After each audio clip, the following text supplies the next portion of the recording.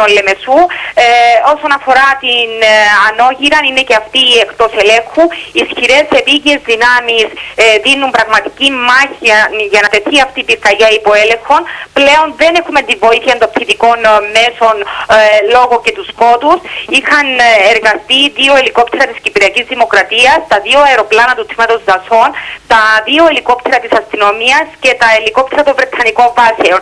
Ενώ πέραν των 150 πυροσβεστικών των οχημάτων, ε, ε, πέραν των 50 οχημάτων και 150 πυροσβέστες ε, έδωσαν και δίνουν ε, μάχη αφού η κατάσβεση των πυρκαγιών ήταν πάρα πολύ δύσκολη λόγω των δυνατών ανέμων που έπνεαν ε, στις περιοχές αυτές. Έχουν ε, κοπάσει άνεμοι καθόλου κυρία Γκεμιτζέ γιατί δυσκολεύουν το έργο σας; Ευτυχώς έχουν κοπάσει άνεμοι και είναι αυτό που θα εκμεταλλευτούν όλες οι επίγειες δυνάμεις που βρίσκονται σε αυτά τα μέτωπα για να θέσουν τις πυρκαγιές υπό έλεγχο και τελικά